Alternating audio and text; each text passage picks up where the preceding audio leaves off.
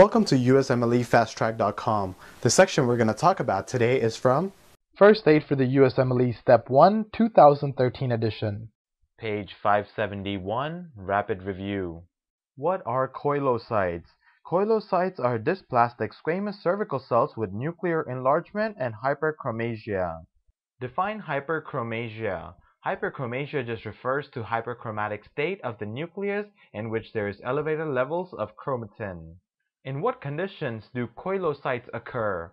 Koilocytes occurs as a result of infection of the cells by human papillomavirus or HPV, and this can eventually lead to cervical cancer.